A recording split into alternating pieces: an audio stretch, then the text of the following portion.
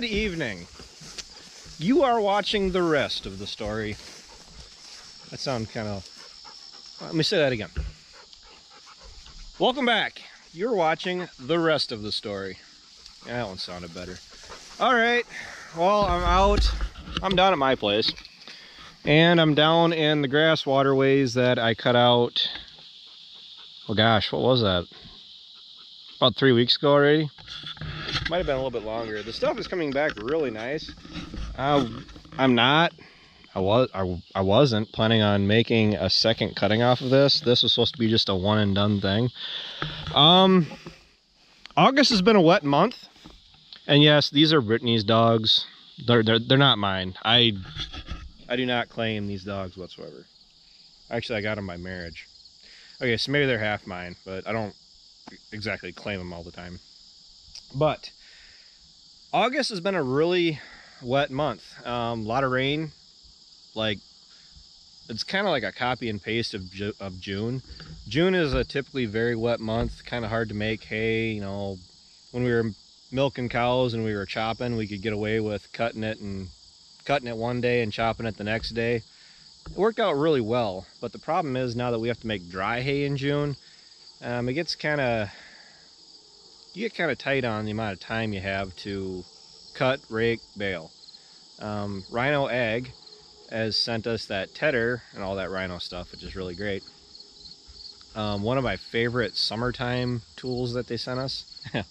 summertime tools. Um, seems like we can't use the VT in the summer. Oh, well, I could. Kind of hard to make hay with a VT though. Get me in the right mood, I'd be willing to try.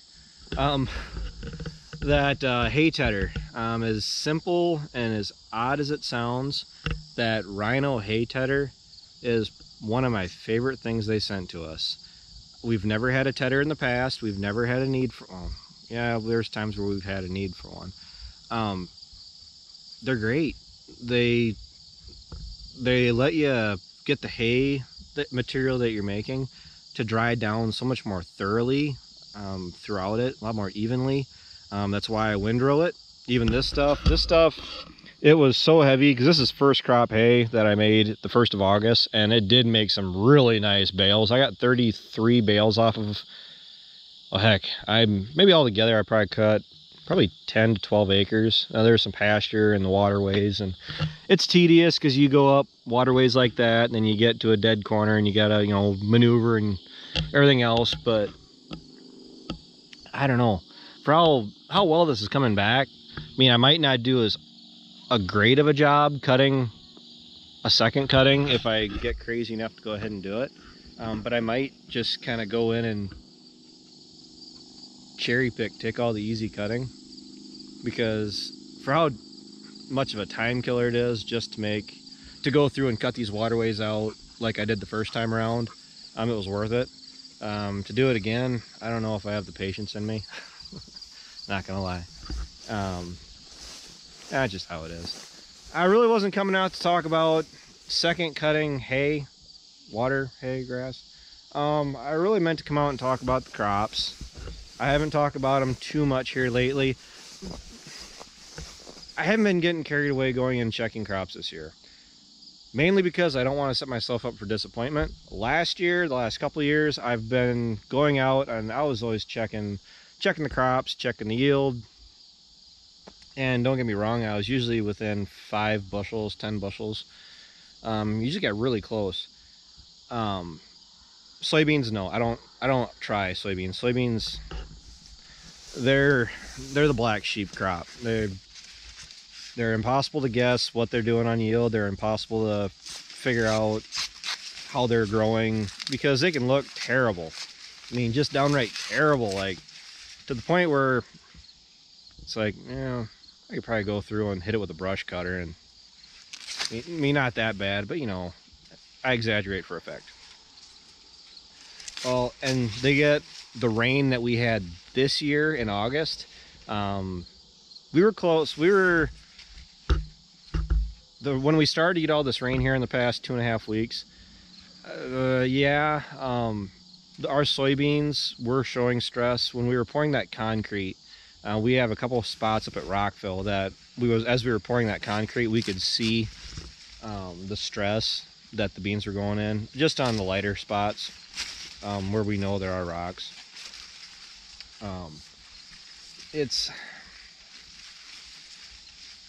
the rain hit probably ideally if it, we, we would have gotten it two days earlier it still saved us um, when we did get it. But two days earlier and that would have probably taken a little bit more of the stress off a little bit sooner. Um, but yes soybeans are going to do well this year. My concern is seems how I don't have any storage. Like I could but I don't. Um, I'm not gonna get into that. And um, my biggest concern is is that everything that Ryan and I sell, and about five percent of what my dad will be doing this fall, will be sold out of the field, and I'm just worried that seems how the river is somewhat backed up. Barge freight has gone up, and um, basis has gotten worse um, gradually. Last year I locked in all my basis, at least 90% of my basis in August. Um, this same time this year compared to last year, it's significantly higher than it was last year. Um, I'll keep doing this here. Um, I'm just worried that we're going to send a truck down and it's going to be, we'll get one or two loads out a day. Oh, whoops. And, well, if it happens, we'll deal with it as it happens. I mean, having the foresight of being aware of that may be an issue. It helps helps you with being able to plan harvest and the the way you're going to harvest and everything else. Um, last year, I wasn't really all that crazy about. I wasn't really all that crazy about last year. Just how it planned out. Um, we had a a late start as it was. I mean, we, it was what, 3rd of October before we got going. And ideally, it's not a hard date, um, but ideally like the first week of October um, to really get going is what I'd like to see. And we did, we ran, well, we run a farm, farm and a half out on soybeans um, in the, at the end of September. But, I mean, you can't count I can count on one hand how many times we've harvested in September. And they're saying this year we're earlier, so I, I don't know. This has supposedly been a really good year for the crops. I mean, I'm optimistic. Maybe that's plays into part of the reason why I'm not getting carried away going out and walking through the fields and getting excited that, hey, we got 150 bushel yield. No, um, 150 bushel is what we used to get with Pioneer. Sorry for anybody that plants Pioneer or any Pioneer reps. My grandpa planted Pioneer seed for 50 years, 55 years. Um, something that I don't know how many people are really aware of, um, but there are different pricing sheets. Um, the longer that this, loyalty thing is really messed up.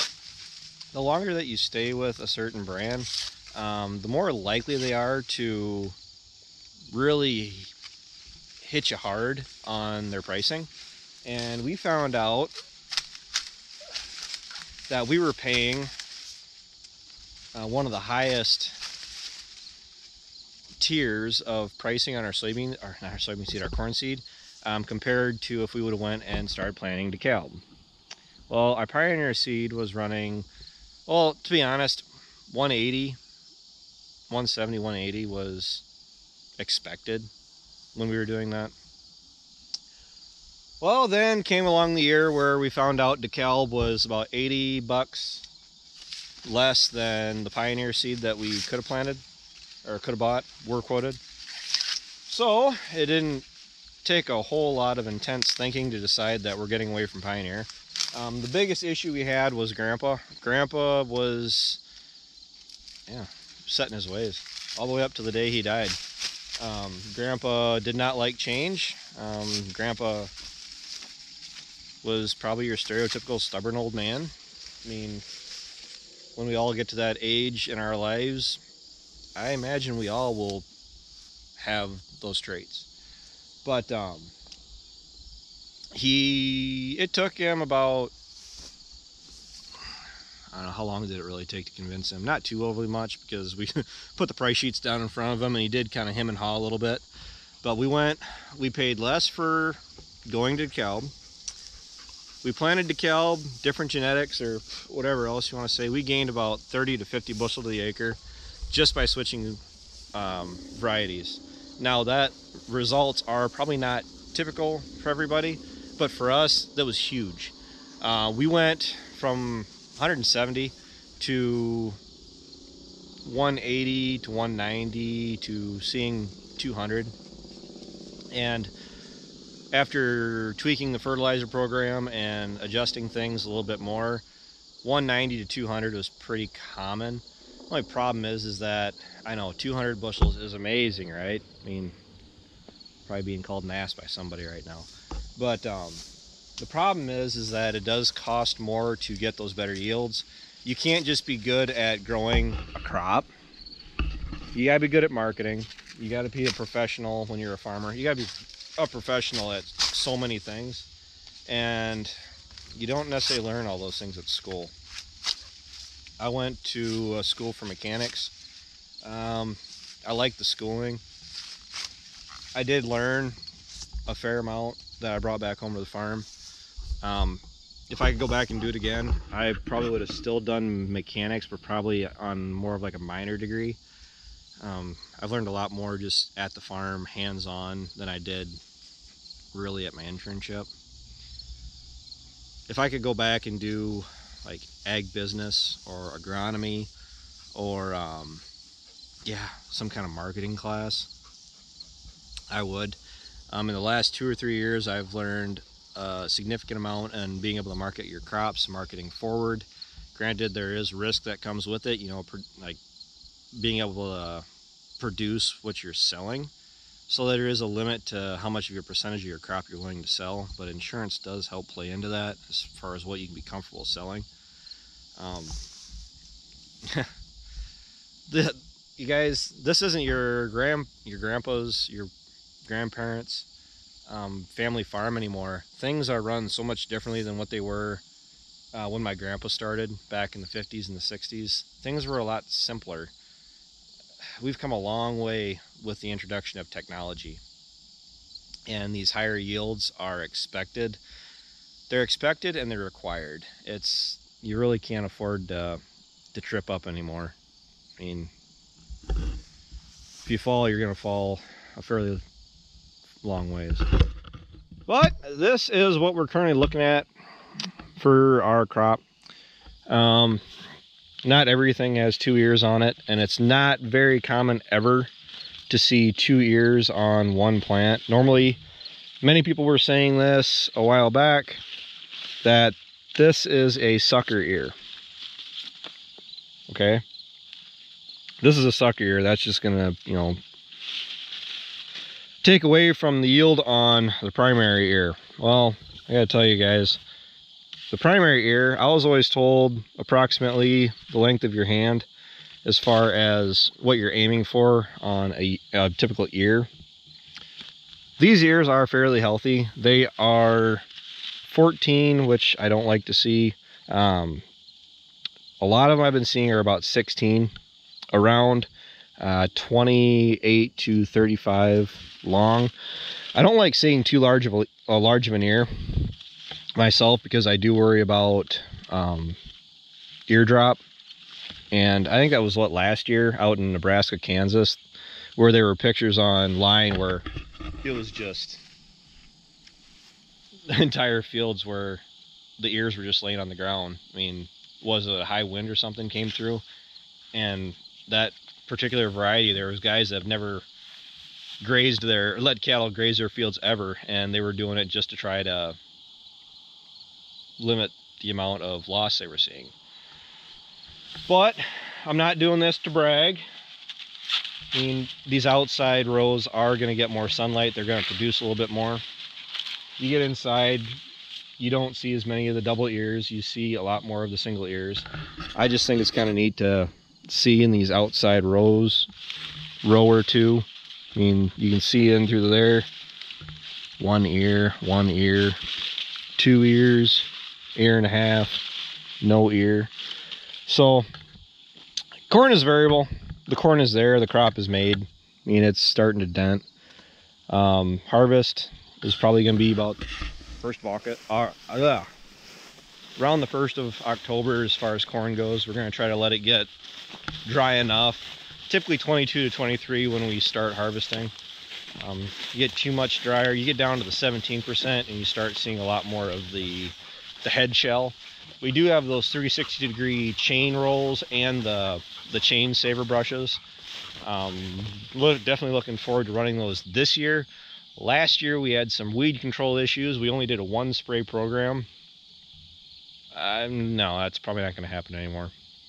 We went from a two spray to a one spray because the two spray uh, was off. Oh, somebody's upset. Um, the two spray was costing a little too much for what we were getting out of it. Um, where we're at right now, we went to a one spray last year because that's what they were originally doing from the previous place we were at. Um, last year it fell flat in its face. Um, we still had an awesome crop.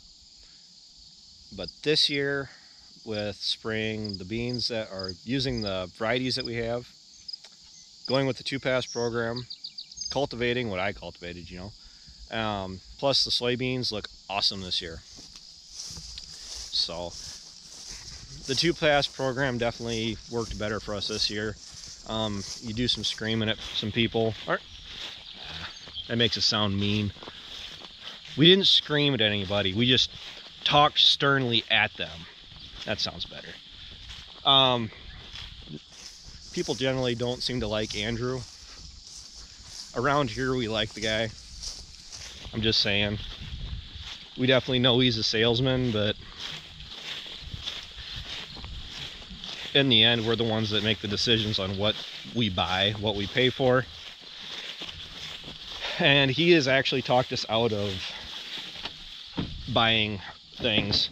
There's things where I've considered trying or have asked him about, and he's actually talked us out of it um, to avoid spending money that wouldn't benefit us. Uh, we've talked about doing fungicide. We are doing trials. Uh, we did trials last year. It was a wash. That's why we had that yield monitor on the combine. That fungicide pass we made that way on this farm, um, they made it at an angle to the corn rows. So the corn yield monitor is going to be able to see that pretty distinctively if that actually gives us a yield boost or a yield loss. Um, I know I'm rambling, but um, things are definitely different than what they were when Grandpa was here. uh, we didn't do as much of this trial and run stuff and tweaking this and changing that. Um, going back to cultivating was a pretty big deal when Grandpa was here. Um, Grandpa wasn't against it. I mean, he he liked it. He liked cultivating. It's just that he said that everybody else in the area quit doing it, and they were still raising a decent crop. Um, the first year that I cultivated, it was a learning curve. I mean, it's pretty straightforward, but just that chest wrenching feeling you're getting when um, you're going through and running down corn. Seems how it's already up and going. Um, but the yield, the yields we were seeing, the the corn, how it would jump up after you cultivated it, it's it's worth it. So, well, it is a really beautiful night out. Again, the moon is out, the sun is setting fall is here. Unfortunately. I'm a, I'm a summer guy. I just I'm not big on the cold weather and honestly fall is really hectic. So well I gotta head home. Doesn't look too bad. But you know my problem is is it could always be better we could get 300 bushel to the acre and I'll complain that it should be 310. Never settle. All right, that's enough for tonight. Hope you guys enjoyed watching. I'm sorry I talked too long for those of you that probably already left. Until next time, take care, take it easy, keep in touch. I'll talk to you guys later.